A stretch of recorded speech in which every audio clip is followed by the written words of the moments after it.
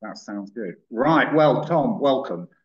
Um, thanks very much for joining us. Um, uh, uh, perhaps just to start off, I mean, I've explained a little bit about who you are, but perhaps it, it would be great if you could just, you know, um, tell, tell us a bit about, you know, your various writings and teachings and so on.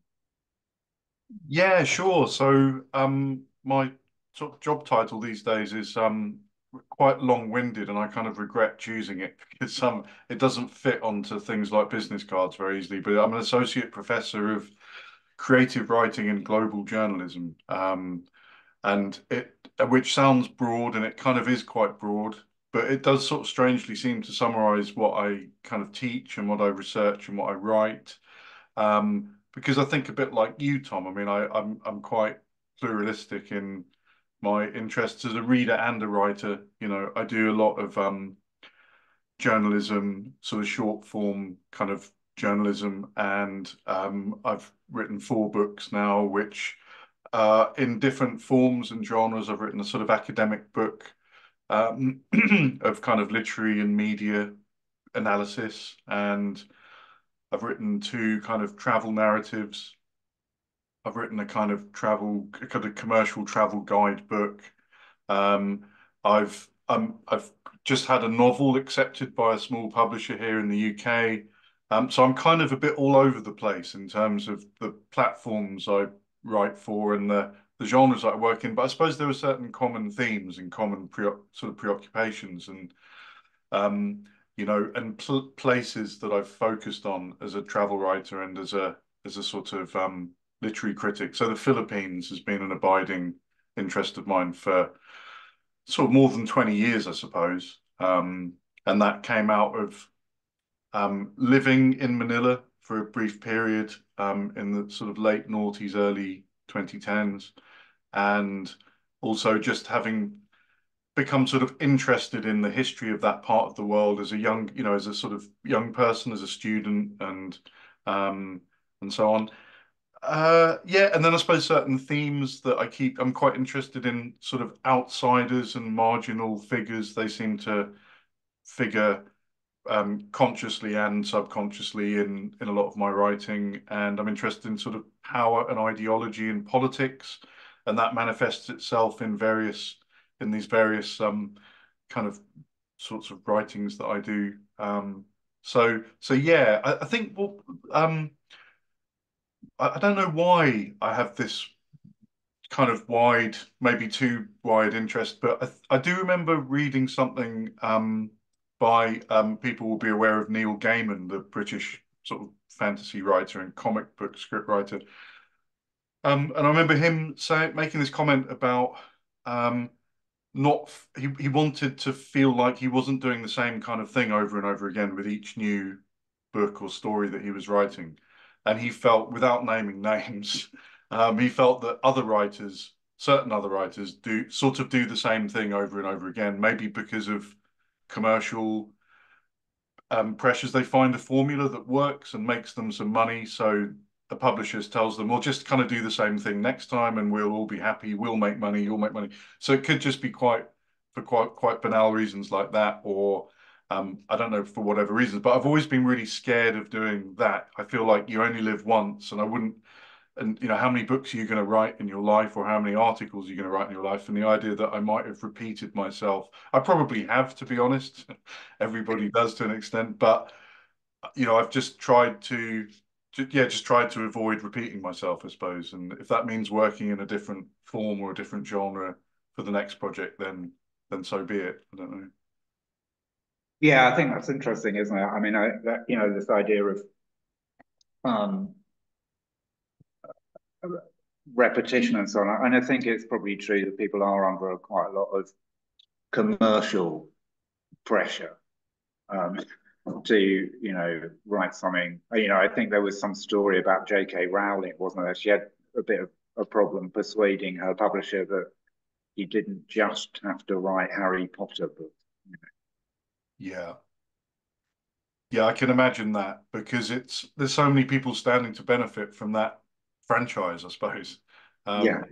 But then at the same time, she probably has the power to say, "I'm, you know what, I'm going to do what the hell I like now," and it, and it's a bit like, um, yeah, it's an yeah, it is interesting that the you know the sort of choices that you get to make, the privilege that you might have in that position, because um, you, you can either, I think we can all think of certain kind of Hollywood actors that just seem to do the same old sort of generic rubbish because they get paid a lot of money and in a way who can blame them? But it doesn't whether they feel very artistically fulfilled i don't know. But um but then there but then there are interesting figures like um you know like john sayles the american film director who um writes these commercial scripts for hollywood gets paid a massive amount of money for them and then plows that money into these art films, you know, that he directed. Mm. People might be aware of films like Matewan and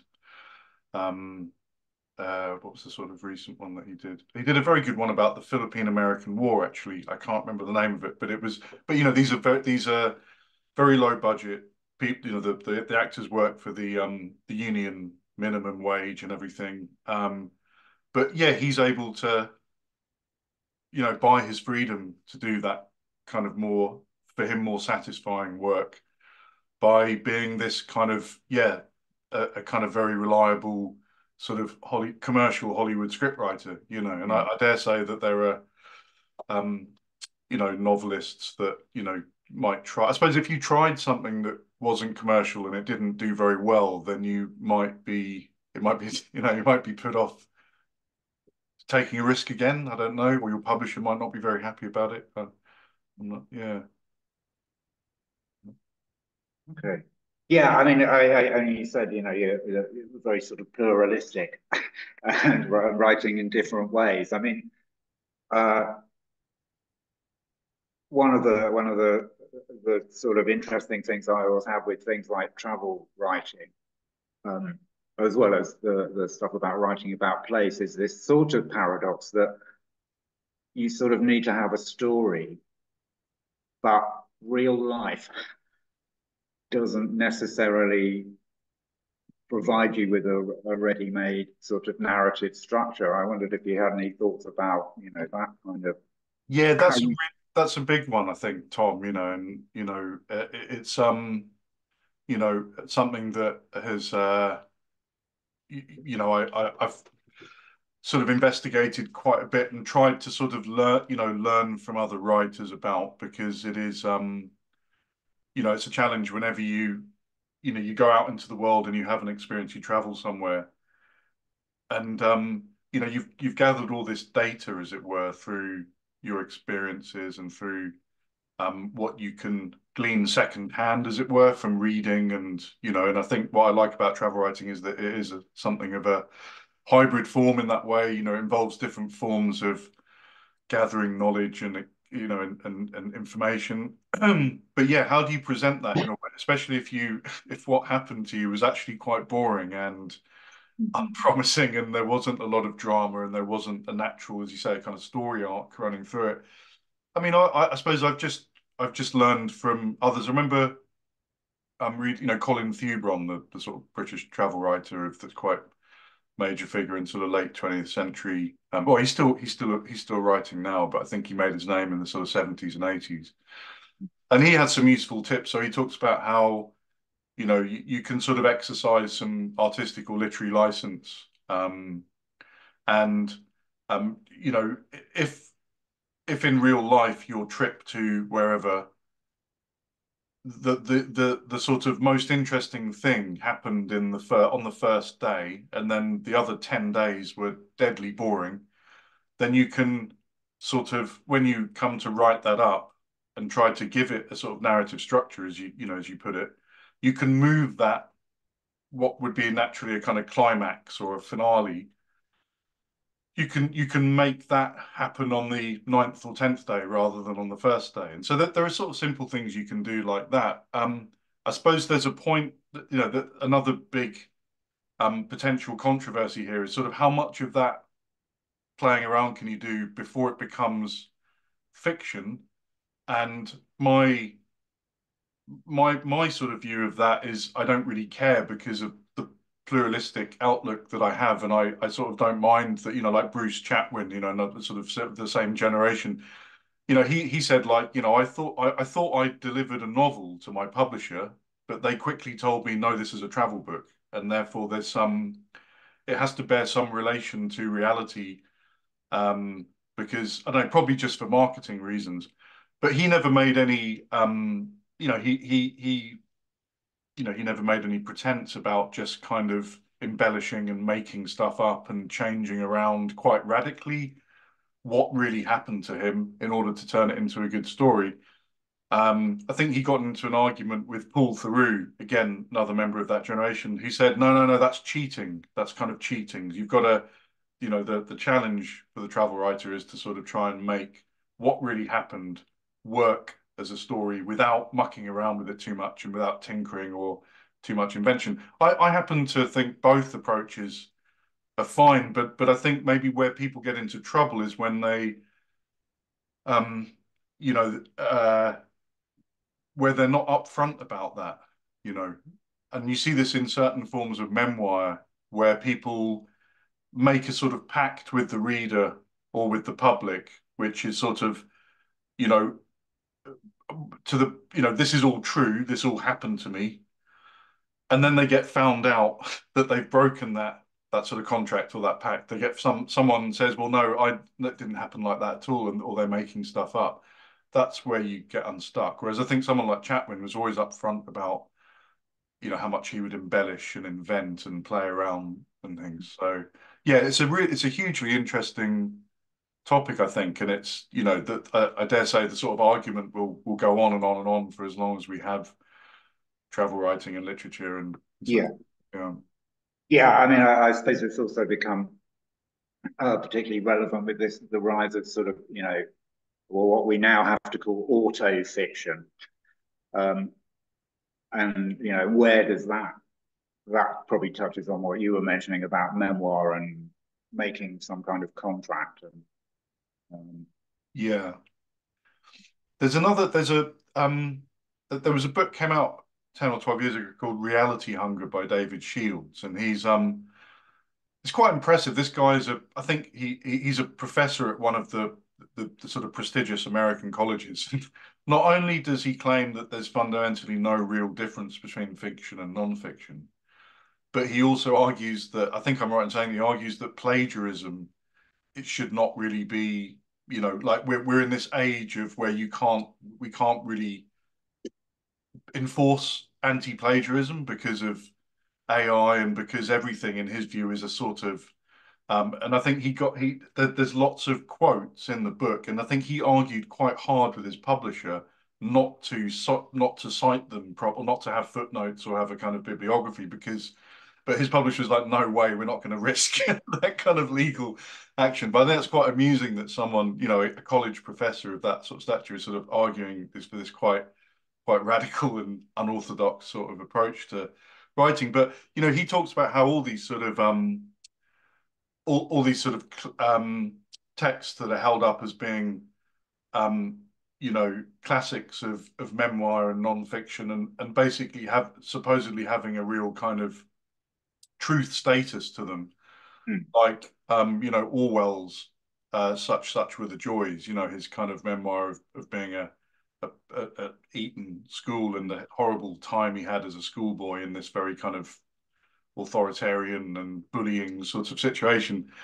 You know, apparent, uh, you know, Shield says that apparently his, Orwell's contemporaries, when they read that, they said, "This is just nonsense. None of this happened. What was he going on about? Like it wasn't like that at all." And then he talks about classical sort of Roman historians who were, you know, accounts of great battles and stuff, which, you know, for maybe thousands of years or hundreds of years were taken as like this is a a very believable historical record of what happened.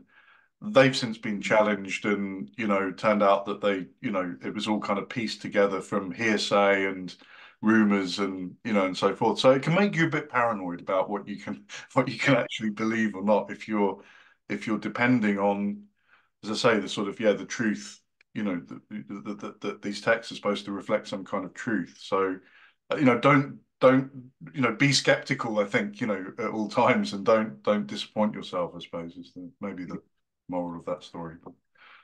I, and I guess that you know, as, writers, I think you mentioned it briefly there, you know, like being upfront about it, I think is an important yeah. element. You know, whenever I try and write non-fiction, write travel writing, you know, the stuff you, of mine you've seen it, I always try and make sure it's pretty obvious that this is just my point of view and this is also just a specific time, you know, mm. um, just because I, you know, what I saw in Albania in 2006 doesn't mean that Albania in 2024 is going to be the, well, I know it, but you know, it, yeah, that kind of idea. Yeah.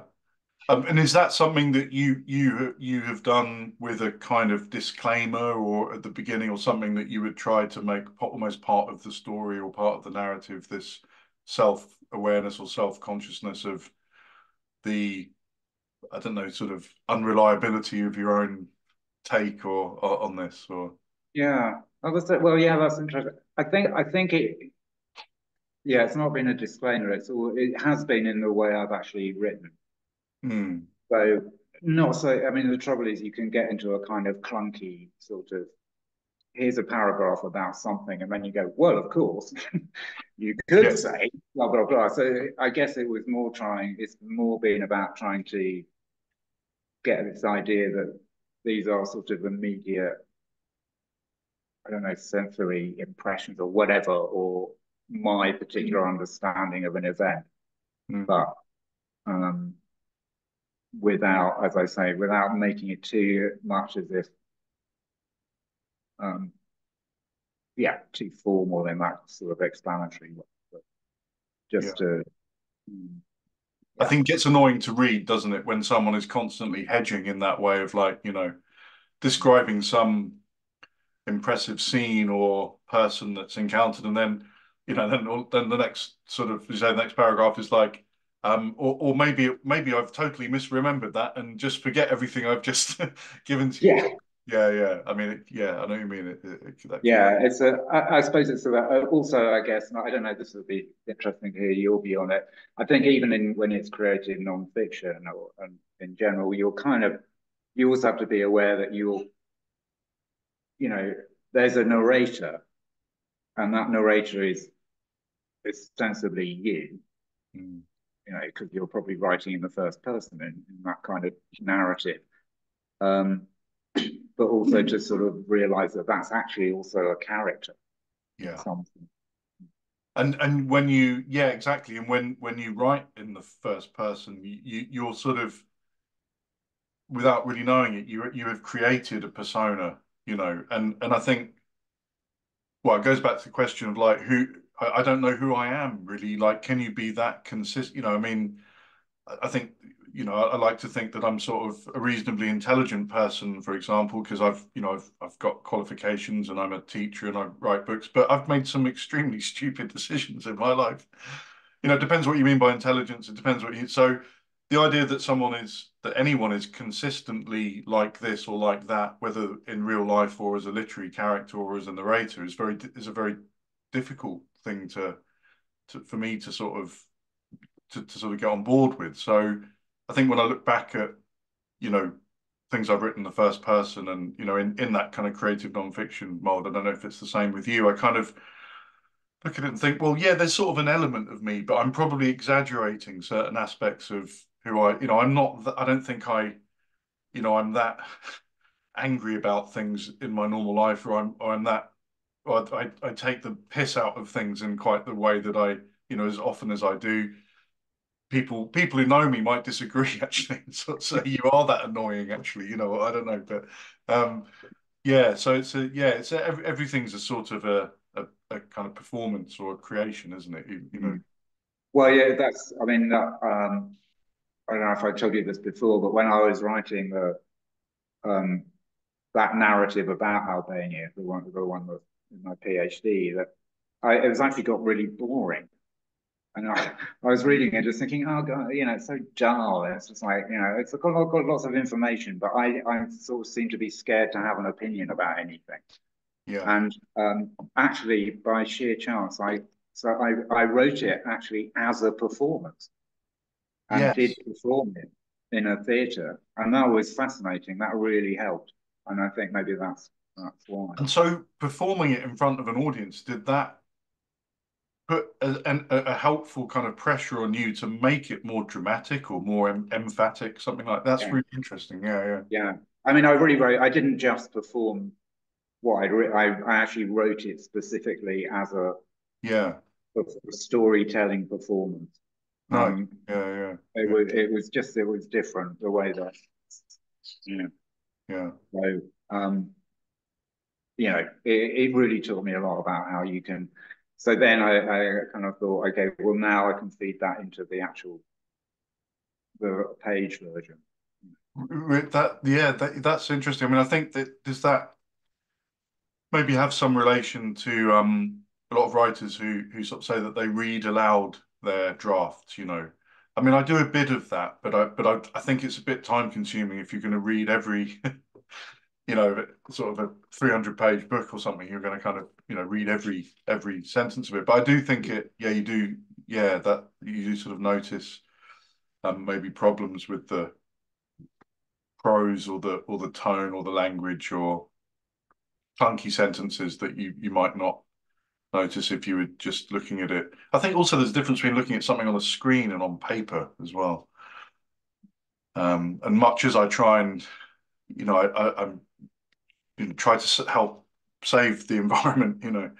Um, I, I do find myself printing, especially at the end of a project, like printing printing up a, a whole draft of a book and going through it with a pen and just I, I don't know what I don't know why I'm not I don't know what the kind of psychology is behind that or the cognitive workings are of the brain, but and it might be to do with just you know my generation you know or, or you know where for the first half of my life I mean there were computers around when I was a kid but you know you didn't there was still a lot of you know I, I grew up in in an analog world really you know and it was only in my early 20s when the internet became fast enough that with broadband you know that that it became so dominant in terms of you know lots of reading on screens and and now with emails and with Word documents and things and PDFs, it's like a load of reading has to happen on the screen. But I, I don't, I don't, yeah, I don't know whether it's because I'm a sort of an analog native rather than a digital native that I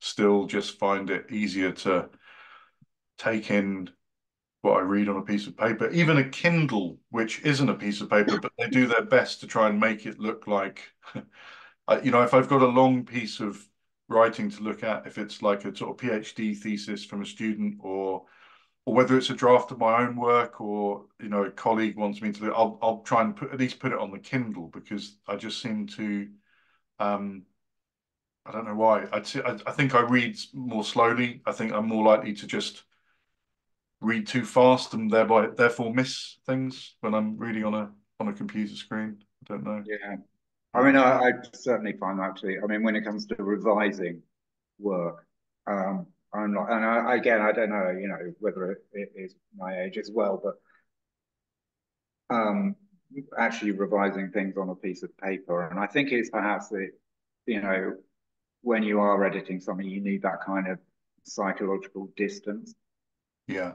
you know, to be able to actually look at it more objectively. And, um, I think also when when it appears, yeah, I think object objectivity is is good, or at least the the feeling of it, because yeah, when you when you transfer it from one medium to another, from the screen to the page, it looks it immediately looks different, and and immediately you can think, well, that I know that's still me and my work, but it's sort of not it's sort of slightly not me or something, or it's kind of it's not the me that I've been you know dealing with for so long, so many hours on this screen, you know, and therefore you can it just helps with you know you re reading your work from the point of view of how a reader might resp respond to it rather than from what from the point of view of what you're trying to achieve with it as the writer. And those are two, I know you've talked about that when you came to um, you know do a do a kind of talk at, at, at Portsmouth a few years ago, and I found that very interesting. The idea that you have to sort of almost imagine yourself into the mind of a reader that's that's come fresh to your work and how difficult that is actually because you know because you're you're so involved with with your own work as a writer for so long that it's hard to then try to be sort of objective about it but you you have to you have to try you have to sort of train yourself don't you know train your brain to do it yeah absolutely i mean i i find that and i you know i think that's probably more so with i guess maybe poetry and that kind of stuff feels much more personal mm. so hmm. maybe that you know and it and printing out doesn't involve quite so much paper. That's true. Yeah, just yeah. kind of yeah, on on that level, definitely. Yeah. But did you feel so when you print out a poem and you're kind of revising it? You're it's easier for you to sort of get into that the mindset of you know what how a reader might respond to it and whether they're going to get certain references or imagery or whatever. Yeah, yeah. yeah. I, I'm doing it less so now, but um, certainly for a long time that was the way. It, it, you know, like you, it felt like you know I just needed to put a, have a pile of paper and a pen to do yeah. this part of the job. Yeah. yeah. I mean, there are. Anyway, you, last time we spoke, you were, you were, I think, um, you were. Well, last time you very kindly spoke to my students, you were, um, you were just doing your coastal book. Mm. Um, Coast of Teeth. I think you were just maybe I can't remember what stage you were at. Anyway, but that was the sort of project you were mainly involved. I just wondered if you could talk about that because that was, I mean, a it's an unusual, well, a very interesting subject, but also because you it was effectively a collaborative work. Yeah, I mean, I, I would really recommend working with um, working collaboratively, you know, with other writers, but also, you know, with, with with that book, it was with an illustrator, you know, Louis Netter, who, um, you know, what was fun about that was that we have the same methodology really in terms of, you know, we were just talking about travel writing and how that, you know, um, obviously requires traveling somewhere and gathering information and impressions and ideas firsthand, you know through sort of embodied experience and and the way that Louis operates, which is quite unlike a lot of illustrators who who sort of you know sit sit in their studios and and imagine things or whatever.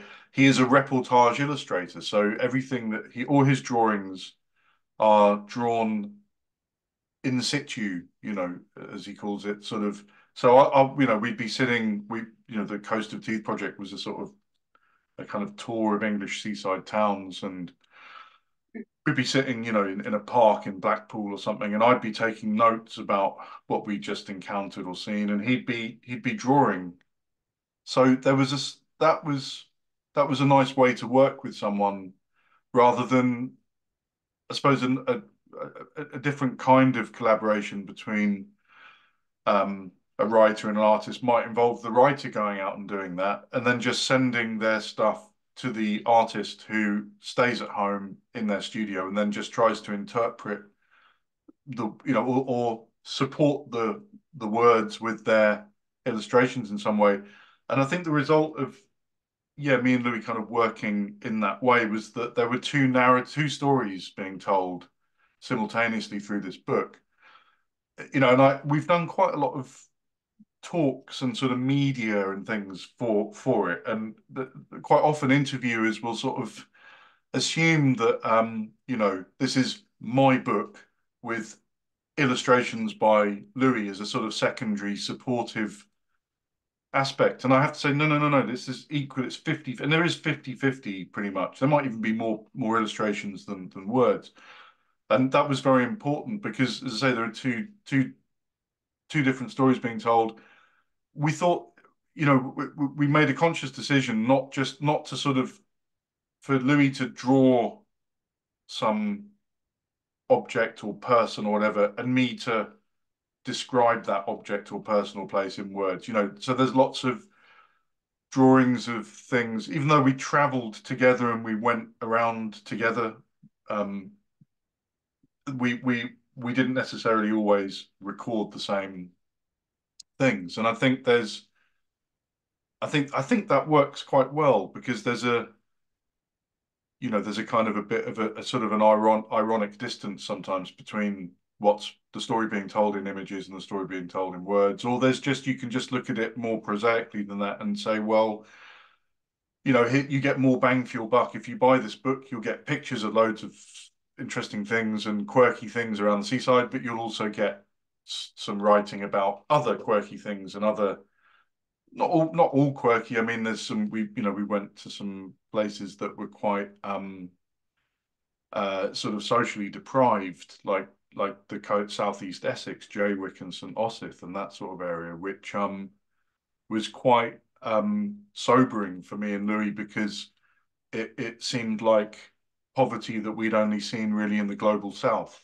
you know, with kind of people living in very simple accommodation with um, a lot of people off the grid, as it were, with kind of, you know, not seeming to have electricity or gas piped in, but using kind of gas, you know, kind of canisters to cook with and things. Um, people's homes made out of sort of salvaged materials, you know, in the way that, you know, I was used, I've, I was used to seeing that kind of architecture in you know, like the slums of Manila or India or, you know, but but the idea that in 2024 in Britain, in the supposedly developed global north, there are many, many people living like this. And we spent a whole day walking around this these areas and we just we it went on and on and on. I mean, and I, I dare say if we'd had another three or four days, we might have seen a lot more of this kind of world that middle class British people don't know about really you know but is is obviously if you know many i don't know hundreds thousands of people live like that today. And so there are these sorts of hidden or dark sides if you like to seaside towns it, you know alongside the kind of more jovial and sort of fun and quirky sort of arcade games and food that is served in these places and you know we we were i mean um you know, we we were interested in. I think you know, an illustrator is necessarily interested in kind of arresting images that seem to kind of symbolize some mood or atmosphere in a place. And and I am as a writer, you know, and I you know I'm I'm something of a sort of psychogeographer in that way, you know, um, or try, try to be, you know, and and so you know you you start to notice these um you know something that seems at first innocuous like um i mean I, I, grew up in a seaside town and i i've always been obsessed with these um with the sort of arcade machine machines the like moving cliffs. I don't know whether they have them in whether they're just a uniquely british thing or whether they have them in elsewhere in europe or these sort of moving cliffs that where coins drop over the side and hopefully you keep putting coins in to push the other coins over these moving cliffs and then you hope that they'll fall into a bucket and you can you can you you, you know you've won 20p or something for your two hours of effort you know. And you know there's something about you know I started thinking about this kind of um you know the more people we met in seaside towns Um, that seemed kind of quite alienated and quite desperate to get out of them because there's not much there aren't many prospects in terms of jobs and in terms of you know making your way in life. It seemed that a lot of the games that you end up playing and you know seem to to to be sort of very much based on this very narrow chance of you winning the jackpot. You know, and you probably won't, and you probably will spend a long time putting coins in the machine. But you might just you might just be that person who gets the the teddy bear or the gold watch or fake gold watch or whatever so yeah, we just became aware of these sorts of um, you know, certain objects and sort of aspects of seaside towns that would seem to represent people's kinds of sort of moods and aspirations and and things. So yeah. Do you think working with Lou with a with an illustrator, do you think it changed the way you look at places at all? Definitely. Yeah. And the other there was a sort of third narrative going on there as well, which um, I tried to give some sense of, which was the conversations that he and I had while we were researching.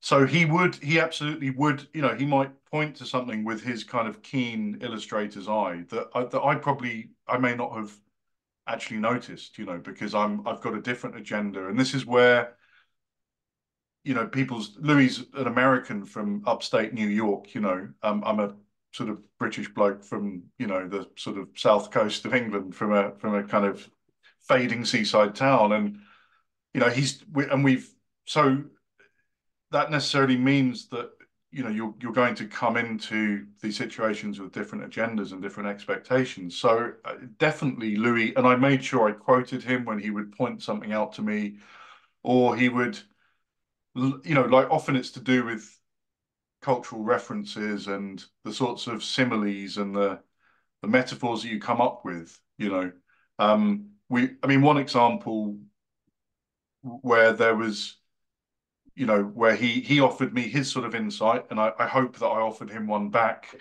but they were different insights into um, this this peculiar. There's a, it, it's um a, a, sort of dance hall in the Blackpool Tower, I think, um, which is an amazing. I mean, Blackpool is full of extraordinary um, venues because it really was it was the, the the, the, probably the entertainment center of of the world in the sort of late 19th century. I mean oscar wilde would turn up there and you know and sort of do readings and and you had like the the leading sort of opera singers of of italy and france and, you know, germany and places would come and they'd be paid a fortune and then you know frank sinatra was coming later on into the sort of 20th century and and so you have these amazing um amazing venues, which they've managed to keep alive with.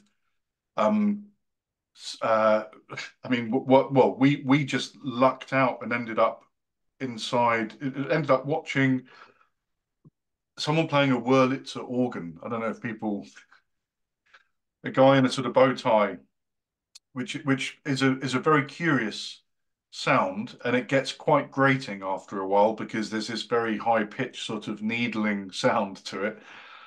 But he he was playing all these kind of traditional you know seaside songs you know english songs with people dancing sort of doing ballroom dancing. But but there was a really there was a real sense of you know almost like a sort of punk thing going on where people who couldn't really dance and of all kinds of age groups young people old people people I think with disabilities, perhaps with um, you know, sort of like older people with um, uh, various kinds of cognitive impairments and stuff, were just having a go at dancing and just you know it didn't it, they weren't necessarily technically great dancers and I, I don't I can't dance myself so I don't say this from any position of superiority.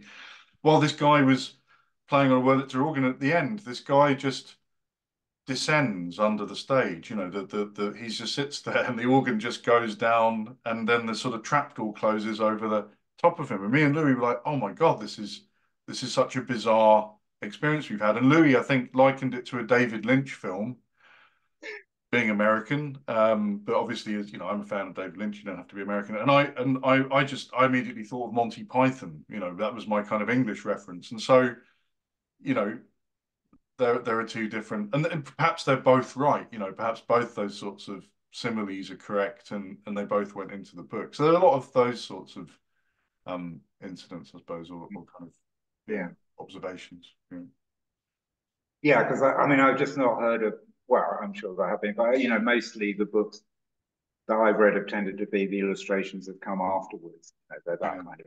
It's not, not quite working in the same sort of very collaborative way and um, yeah you know. i mean I, I mean i suppose um a, a common sort of uh you know we're, we're both big fans of you know hunter s thompson and ralph steadman which you know and I, I think as i understand it they they traveled together they did a lot of I mean, I, I, don't think Fear and Loathing in Las Vegas, Steadman was, if that was him and his lawyer, wasn't Oscar Acosta. Um, but certainly on a lot of their, in in Thompson's other books, and I think on, on a lot of his um, kind of ill-fated Rolling Stone magazine, um, sort of uh, assignments, you know, to go to the Kentucky Derby or whatever, and I think they travelled together.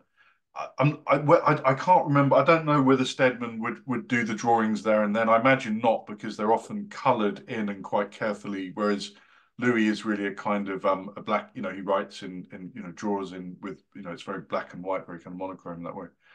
Um, so so yeah, it was uh, it was exciting to me because I hadn't you know I hadn't come across that kind of collaboration and we we we just get on. We've got many of this get along you know that that helps i think you know if you're going to collaborate with someone.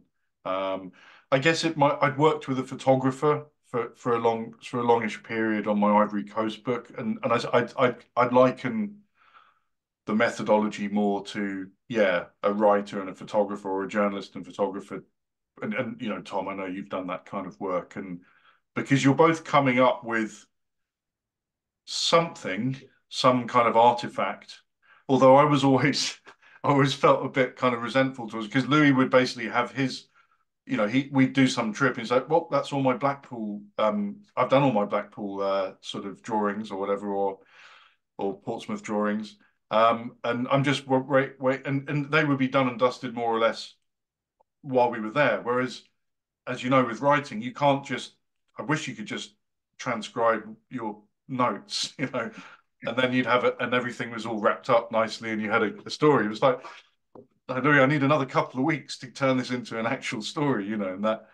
But but no, he obviously understood that. Um, but uh, yeah. I mean, I, would be interested to know if there are any writers that can come up with something pretty polished, you know, on you know in situ. I mean, there, maybe there are, but I'm I'm not one of them. yeah. Um, oh, well, I don't know. Uh, yeah, I mean, there have been people who've experimented with it, but I, you know, not necessarily. Sometimes reading it when it's unedited is a bit. It's like uh, okay, a bit rough around the edges. Yeah. Yeah. Well, photographers. I mean, when I worked with with Alex, you know, the, Sebley, the photographer, you know, he. I thought that you know, again, I learned a lot about, I, or I, I, you know, became, you know, became less sort of naive about what someone else's kind of craft involved because uh, again, I felt a bit kind of it was like, oh, it's easy for you, just you know, point and click and get your pictures, and jobs are good, and then I'm the one who has to but then I, what I didn't realize was how long a photographer takes after the fact or after the, the trip or the event, sifting through finding which photos work and you know and that that's a huge that's like their editing process or their their writing up or the equivalent of you know the time I was locked away in my hotel room trying to write something up from these you know sort of smudged and occasionally beer stained you know notebooks um, Alex would be kind of going through selecting which photos would work and wouldn't for the story or for the book, you know, and stuff. So, yeah. Yeah. I quite understand that. And now you're, so yeah, uh, um, I know you've mentioned this as well when we were chatting before, but your novel. So mm. tell me a bit about that. And, and perhaps one of the, one thing, you know, sort of, um, how, how would you relate it to your other writing? I mean, is it something very different?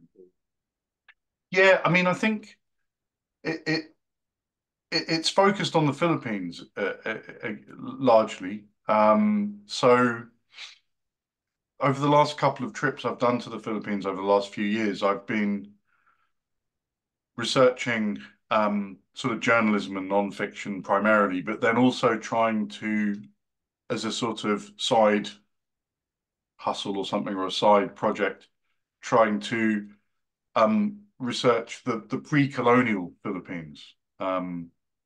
And sort of and, and that that's also involved reading a lot of um, sort of uh, sort of anthropology and history um, uh, by sort of various um, people who have painstakingly tried to reconstruct what life was before the, the Spanish Empire basically um, sort of um, took over um, the well, it wasn't the Philippines then; it was just an archipelago of islands, and came to be named the Philippines after King Philip of Spain. And um, uh, you know, and so you know, I, beca- I I was trying to learn about. Um, there are still communities in the Philippines that that are kind of pre-Christian. So the Spanish introduced, you know, Catholicism um, through a, a quite a brutal process of conversion, just as you know, like they did in Latin America, and that's not, you know, other empires and other European civilizations supposedly behaved the same way in other parts of of the world, of course, but so I became interested in, you know, just um, so so yeah, a big part of the book is sort of, or one of the narrative strands or non-narrative lines is is sort of set in actually a matriarchal barangay is the word, for a kind of tribe or community in about 1570 AD, just before the Spanish arrive um, in that part of Luzon Island, which is the main island in the Philippines. But through this is where it gets weird, and and I felt like I had to do something. So so it's there. There is some continuities with my other work in the sense of the place and the the the kind of research and the historical my interest in the kind of history of, of the Philippines, but it's very different in the sense that it's a very imaginative, almost kind of sort of fan, fantasy or science fictional kind of story because it's about through a sort of process of sympathetic magic, as it were.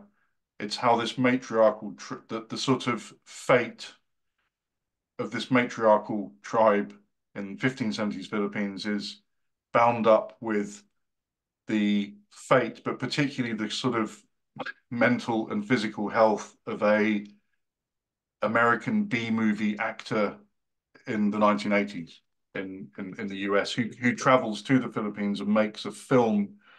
He, he he's a kind of um he, he's so I, I was inspired by a colleague of mine called Matt Alford, who's done a lot of research into how the American military has funded and assisted with Hollywood films, but going back really since the beginning of Hollywood.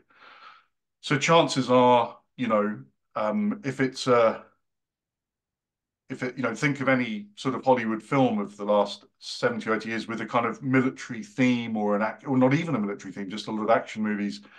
They may have borrowed some helicopters from the Pent or from the US Army, or they may have had their script doctored by the Pentagon. I mean, it sounds like kind of slightly out there conspiracy theory stuff, but my friend and his colleague have done these freedom of information requests, and it is all evidenced, and they've published it, and it, it so that kind of so this character, Kirk Decker, who's a sort of beaming actor, is very much, um, you know, a sort of propagandist for American power. And it's 1986 is, is his sort of time that he's around. So this is kind of Reagan era.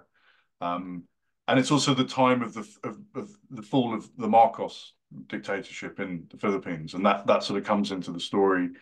Um, and so he travels to the Philippines to make a film to try and sort of, with Marcos's the Marcos's aid because the Marcoses were very interested in film. Imelda Marcos, especially, um, loved film probably as a kind of propaganda instrument, but she built this this sort of very expensive film Manila Film Center, you know. Um, so yeah, it's quite odd, but then it, it it then sort of segues sort of something between a historical novel and a strange kind of fantastical novel with um because we then there is subplots about that concern Kirk's relatives and ancestors. So there, there's a section that happens that, that takes place in Manila just before World War II breaks out, and the Japan because the Japanese invaded more or less about eight hours after Pearl Harbor. The Japanese swept into the Philippines and took it over very quickly because the U.S. forces and the U.S. troops that were stationed there and the sort of colonial army that because the Philippines was a US colony at that time effectively was not prepared at all for the Japanese attack, much like they weren't prepared for Pearl Harbor. Um, so his fa- this character's father happens to be working in Manila at that point.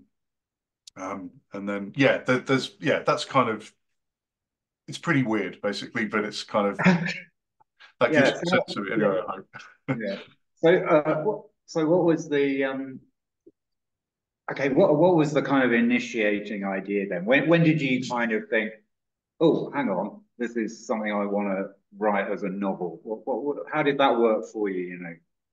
Yeah, I I had this idea of uh, I think I had this this sort of image of the of these two very different people. So like the the queen of a sort of matriarchal tribe where women, I mean, it's not it's matriarchal where women, and there have been some communities like this, uh, and there are still today. You know, not in the majority, but where women are are they're not only sort of respected, you know, in the way that they are in lots of cultures, you know, in Jewish culture or in African American, that they actually hold the power and they do the they do the fighting and the hunting and the stuff that in other cultures would be traditionally male um, roles, right? So I just I had I was interested in this idea of like you know why how and why a matriarchal society could come about when so when most of the other societies have evolved in a different what are the material reasons for that um, so that was something that's you know I was interested in. And then I thought, well, how could you have a character that, that couldn't be more different from that? Male, misogynistic, racist, you know. um, and then how do they how do they become dependent on each other through some sort of symbolic magical process through time and space? So it just I, just the sort of the the it's that sort of like yeah unity of opposites or something or how two very different things could be connected. There was what what really and what I did was I had this vague idea and I would just bore people in pubs about it for about a year. And so I've got this idea for a novel, but I wasn't actually writing the novel. I was just saying, oh yeah, so there's this sort of action start, and they say oh, that's quite weird, yeah, but that, that's, that's something. Yeah, seems sounds original anyway. And then the difficult thing was to crack on and write it and try and make it make sense, and it, and that's what I've been doing for five or six years. But the, the, so that was that was the initial idea. What what gave me the confidence to actually go ahead and try to make it, try to write it was um, a brilliant novel which I bought when it came out, um, but for some reason didn't actually. It's just sat in my bookshelf for for years. Uh, but someone said, "Well, you should read Cloud Atlas um, by um, David Mitchell," and I was like, "Okay, this is." that's how you connect. I mean, it's much more, his book is much more ambitious and I'm sure much more successful than mine will be. But these different characters in very different times and places are connected through very in, in various very very clever narrative ways. And i thought okay it's not going to be as good as that but that's how you might do something like that. And and i you know i would just thoroughly recommend that book if people haven't read it because it's just a sort of tour de force of imagination and cleverness and yeah so yeah. So so is it i mean is is your novel structured in a i mean in a similar way to his but i mean is it is it kind of quite fragmentary or have you tried to sort of stitch it together into a, a sort of convention more conventional narrative? Yeah that so it starts with I want there to be a kind of a shock when we move from this rather unpleasant sort of um, uh, sort of 80s kind of right wing kind of American actor and his world and his very narrow worldview and his abusive relationships with women and other people. Um, that so that we spend some time with him at the beginning and then and then we move quite suddenly into this um, sort of yeah 500 years before in in and you know several thousand miles away in the Philippines and then from then on there's kind of movement more rapid movement between the two timelines. But I'm trying to the and, again I'm sort of in the editing phase now and I'm, I'm it's with the editor and I'm I'm I'm open to you know I, there's a point there was a point where like this is the, the in terms of the structure the structure is really important to a book like this because it relies a lot on surprise and then people getting it when you do finally say that there's a connection between these two completely different narrative threads you know it's a it's a different totally different challenge to you know any any kind of other writing I've ever done so I'm very open to if that doesn't work for this person the the, the sort of readers reports I think two out of three kind of for the for the publisher were like, yeah, we like this, it works. But then you're kind of left thinking like, mm, the third one, does that mean I'm gonna? I want you know, you want you want it to be as accessible as possible, don't you? So I'm not taking any chances here, and so I'm open to. But it's a good question, and it is really structure is really key to this working and this delivering. And there is a decision to be made about how long do you defer that moment of revelation that where the reader goes, ah, okay, now I get it that these two totally unlike and ideologically, but also, you know, different in so many other ways, characters and set and sort of contexts are actually actually dependent on each other and kind of need to save each other in some strange, as I say, kind of magical way. Yeah. Yeah. So did you write them? You know, uh, you say that you know these. Did you write the two different timelines kind of separately? You see what I mean? Like kind of write one and then, or or was it? Did you find there was something to be had from kind of playing with sort of bouncing off from one to another in in the actual writing? Yeah, that's another. That is another good question. I I'm. I think the latter moving between the two because I wanted to make sure that there were certain little motifs that were common so that there were clues as to where this is going to go, but not to obviously let let the you know let, let it be uh, not to give it away too soon. But since you put it that way, I think there would probably would have been benefits to doing it the other way actually to have just almost like written the whole arc of Kirk versus the arc of, of Diane, you know, who's the, and her community who's the sort of name of this matriarchal sort of Barangay Capitan, you know, um, sort of queen of the community. So yeah, I the, yeah, I could have done it either way, but I think I ended up being more um like that. And then I I, I mean initially I thought it was just going to be those two narratives and I would it would just be you know sort of two hander in that way. But I felt like I had to justify Kirk's kind of connection. What this is really about is sort of cosmic, uh, giving too much away, but sort of about cosmic justice, and it's it's about and and again this is where it connects kind of with Cloud Atlas, where his relatives and his ancestors have also have also kind of they've got an injustice to answer to, you know, and and it's related to the Philippines and the way they've treated women there and and behaved in this very colonial and exploitative way. And so I then found myself making things even more complicated for myself by going back to like the the, the early 1940s in Manila, and then there's a there's even um, um, uh, sort of stuff set in the 60s because he has a younger brother who goes to Vietnam, um, fights in Vietnam, but is stationed in Manila uh, for R and R, you know, in those sorts of, you know, we've all seen them in kind of seen that that sort of those scenes in, you know, kind of Oliver Stone films and the like, you know, um, quite quite crazy, um, sort of, um, you know, uh, sort of uh, hedonistic sorts of scenes. So yeah, so it became more complicated as I introduced more. Um, and I, the writers group that I'm a part of, and I, am sort of showing bits to to the to to colleagues in the writers group, sort of saying like, Tom, you're not making this easy for yourself. it seems to be like more and more. And so that there had to be some of that trimmed down. I had to, you know, was getting a bit, it was growing into something that might have become a trilogy of novels or something.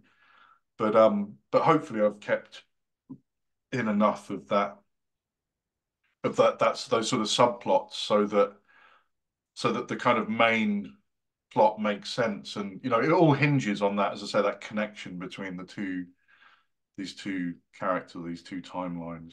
Um so you have to do you know I, I, you just have to do as much work as you think is necessary to so that the reader reads it and and doesn't and you know and, and doesn't see the hard work that you've done almost, you know, and just sees, just enjoys it and hopefully gets it the first time and doesn't have to kind of skip back and, you know, is thinking, what the hell happened on page 21? Oh, okay, yeah, that's why this bit makes sense. You don't, you know, ideally you don't want that, do you? So, so. yeah, yeah. And I, yeah, I, I mean, I, I asked that question uh, really because I think I've read interviews with writers who've gone both who've gone both ways. So I don't think there's like a right answer yeah. I think that's probably true of all kind of writing anything sort of full length, isn't it? I don't think there's a there's a right answer. We all have to go about it in our own yeah. way. I think some people start with an ending, don't they? They they sort of need a sense of where where this is going to lead to before they can, and then yeah, which I think uh, yeah, I think I've I've probably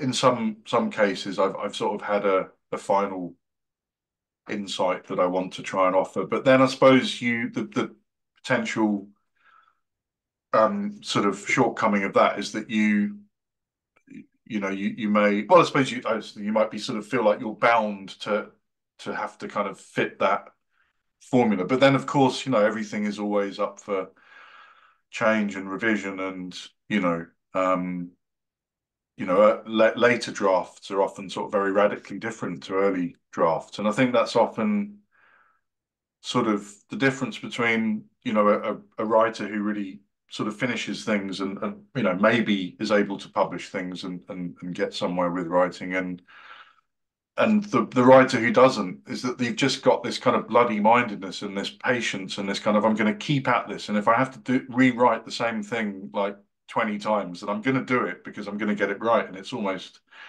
you know it's sort of obsessional behavior which would be you know in other contexts would be you know, might invite sort of allegations that you're not very well. I don't know, you know, that in, but, um, you know, but that's kind of what you, well, may, or maybe, or maybe I'm just doing it wrong. I don't know. Maybe that's just me. No, no, no. It all sounds completely rather uh, familiar, and and also from other writers that I've talked to said the same thing. You know that one of the key important skills is almost this kind of obsessional persistence of, you know, keeping going and but also being able to recognize no that's not right yet and yeah. even if it takes 20 25 attempts yeah um, i think listening listening to people you know get, get getting the opinions of others is really important like we're not nobody gets this right by themselves the first time or even the second time or the third time or the you know the fourth draft of the fifth draft. And I think that's really helped me. You know, you need people who are going to be honest with you. I think it's not much use showing your stuff to friends who are kind of maybe not going to tell you the truth because they don't want to upset you or seem rude or impertinent. So you need like a someone who will be, you know, hard, you know, astringent and harsh if they have to be, but you know, um, you know, and, and may, maybe, uh, yeah, I think you, you sort of have to, and you also have to stop being kind of precious about things and accept that you you may have spent a long, long time not not getting it right, and there might be just very, you know, the the input and the output do not really match up in terms of the hours you put in. I think, I think someone like um, uh, was it um A.S. Byatt? I think sort of said she said something like um it's just ludicrous like the amount of time you put into if you put that much time into learning how to cook or you know you'd you'd you'd you'd get some you know a, quite a lot of tasty food at the end of it and you might even get to become a kind of chef or something but the amount of time you, you put into writing and then the output that you get which is you know a book or an article there's just no it, it's it's a it's a very sort of um labor labor intensive and not not very rewarding in that way so so yeah, you have to be patient and you have to accept that it's not, you know, you won't always be rewarded.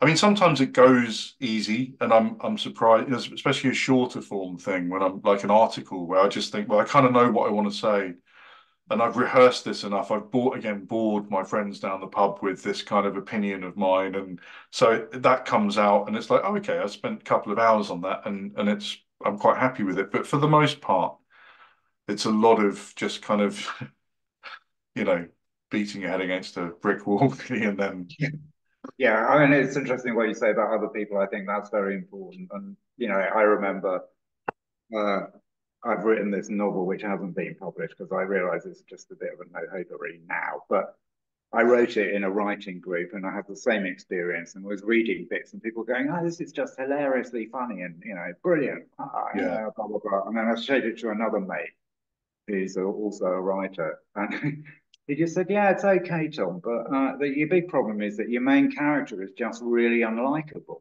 it was like, right. and I thought, oh, that I thought I didn't really think about it. And then I realized, oh my God, that's me. You know, that, that's part, or at least it's part of me. Yeah. And you know, I so this character is thinking or saying things which are yeah. You know, not the you know not the best possible Tom, put it that way. Oh, well, I, you know, be, being the charming, decent fellow you are, I find that hard to believe. But even be that as it may, I'm a big fan of unlikable characters. I mean, I don't really buy this thing that you sort of have to have. I don't know. It feels like a bit of a kind of um. I don't know. It's a bit of a sort of film critics cliche, isn't it? It's like I just didn't care about the characters. You know, it's mm, like well, yeah, you can care about a character, but uh, I mean, my, you know, this my protagonist really is is deliberately grotesquely awful. I mean, I I found myself I've got dictionaries of American slang going back to the sort of to the 30s and stuff because I'm deliberately looking for really unpleasant insults that people would have thrown at each other, you know, at that time, you know, and, and I want it to be historically accurate and I want it, you know, and, and so there's, yeah, I don't know. I mean, each to their own, I suppose, but um, yeah, I think um, I think I think as long as there's as long as the sort of character changes and it, as long as it's interesting, right? As long as it's as long as there's some kind of like momentum to the story, that, that that's what I care about, really. I think, but then you know.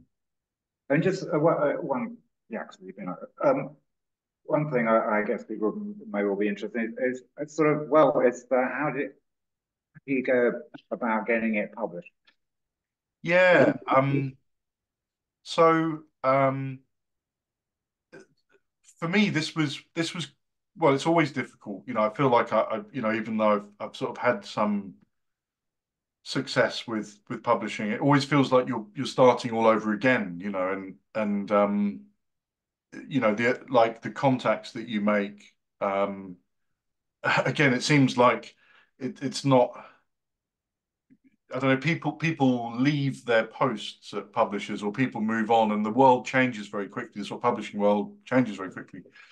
You know, so um and but but for me, fiction was a was a new field, you know, a whole new kind of field. I, I might have had some kind of a network beginning to emerge in terms of, you know, sort of journalism and publishing non-fiction books. I mean, for example, um, Coast of Teeth was um, was published by the by Signal, who did uh, my Realm of the Punisher, which was my, my sort of travelogue of the Philippines. Mm. So you know, there was something there about you know I'd done enough of a reasonable job for um, them to trust me to to have another go, and that was nice. But with fiction, I felt like I was start well, I was starting really from from sort of square one, and so I did the usual thing. I got the writers and artists yearbook, and I looked for agents first of all. Um, it was kind of tantalizing because there was one agent that got back to me. Um, well, it's interesting actually because there was there was one agent got back to me, and and this may be a sign of the times. I don't know. And it was really code for. Don't think it's really appropriate for a, a white bloke. Well, I'm sort of technically Jewish on my mother's side, but effectively white. You know, um, to be writing about, you know, the Philippines and women in the Philippines, especially in colonialism and things like that. That was the sort of coded. They said, well, while we respect your kind of scholarly background in the Philippines and your knowledge of the Philippines, kind of don't, you know, you you, you shouldn't be doing this. So I was okay, you know, kind of, all right, well, I'll just, you know, that's a dead end. Um, but then there was another agent who sort of said, this is very interesting, but it's not quite, you know, it's a, it, I'm going to call this a near miss. And that feels mm. like so near and yet so far, doesn't it? It's like, it's almost like, well, it gave me hope to carry on. And then I tried a bunch of publishers in Rides last year, but didn't get anywhere.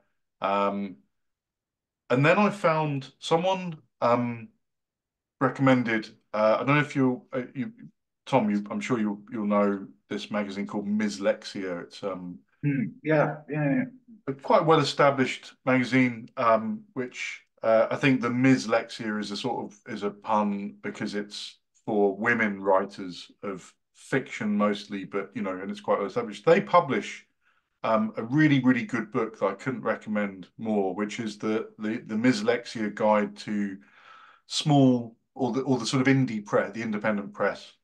And so I I got a lot more. Um, you know, these are smaller operations than you would find, you know, in the Writers and Artists Yearbook, but it was basically a whole different kind of roster of publishers, and that's where I had, yeah, I had sort of offers from two two different publishers.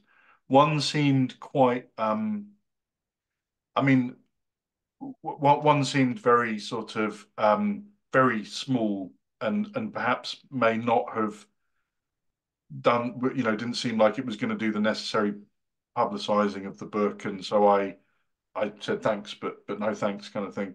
But Cosmic Egg is is what, and and they're a subsidiary of John Hunt Publishing, which um also, you know, I was encouraged by that because they are also the kind of um one of their other subsidiaries is uh, Zero Books, which is a really good. Uh, I'm a huge fan of their. They tend to do sort of political and cultural studies type books. So Mark Fisher, the late, oh, right, all his books are on Zero, and you know, and so I thought, okay, and, and a colleague of mine, um, you know, who, who's, whose work I very much respect, published with them, and and when I said to him, like, it's a bit weird, like going on a website and sort of uploading your thing, and then you see the readers' reports come through the website. And he said, "Oh no, that's just how it is now, Tom. You know, it's just like that's the that you know I had to do it that way." And and so okay, that's fine. And had a had a you know got got an offer um, with um, you know I think they're going to print sort of a couple of thousand initially, which is all right. Um, no no advance, um, but sort of better royalties for that, um, you know, for it and stuff. I I'm a member of the Society of Authors who um, I, I don't know whether there's an equivalent in your part of the world now or whether you know but I but I they were very good they looked at the contract and and sort of made some suggestions about I think it was generally kosher but made some suggestions about what what should be improved and things. So yeah, I just did what anyone else would do. You know, despite trying to call in some favors and trying to get in touch with people. You know, I had a friend of mine who I grew up with who worked in, you know, publishing for years and years and years, but she had just quit. She just be, sort of be, you know left that business. I was like, damn, I've lost that opportunity. So, yeah. so things change and and and and the landscape shifts quite rapidly. So you so yeah, you can often find yourself kind of um, I mean, I mean that's evidenced even by how um, you know I noticed it wasn't Mslexia was generally very up to date, but the Writers and Artists Yearbook one finds that actually email addresses and phone numbers and uh, you know go out of date quite quickly because I suppose people just you know businesses you know change or go under or people move and move between roles and stuff. So, yeah. yeah, yeah, which makes it difficult because you know we have to try and steer our way through this terrain. You know, it's ever it does change. So. Yeah. Anyway, Tom, thanks. Thanks. For, I don't know. Do anyone here have any questions? No. Okay. There you go. Um, sure. yeah. Thank you very much. Uh, a pleasure to talk to you as always. And um, thank you, Tom, for inviting me. No, I mean, yeah, I really enjoyed really it. And, stuff. And, yeah. I the, how long, how long till it's published? Do you know? Have you got a schedule, or are you still? Um, yeah, I think we're looking at probably um, sort of uh, be sort of like autumn or winter 2020 next year. So yeah, yeah, they want to, which is sort of quite fast, I think. Um, yeah, very good relatively. So yeah, I'm I'm down with that. I'm just waiting for the editor to get back to me and prepared to just try and do a bit, you know, if I have to do some restructuring and rethinking of that, you know, that kind of that key sort of pivotal moment, then then so be it. But yeah. Well, great. Well, I hope it goes well, mate. And um, thank yeah. you. Excellent. Mate. Thanks a lot. And um, yeah, speak soon. Definitely. Yeah. Take care. Thanks, everybody. Hope that was of interest to you. Good luck with your own writings and projects and anything else. Thanks a lot, mate. Cheers. Cheers. Bye bye. Yeah.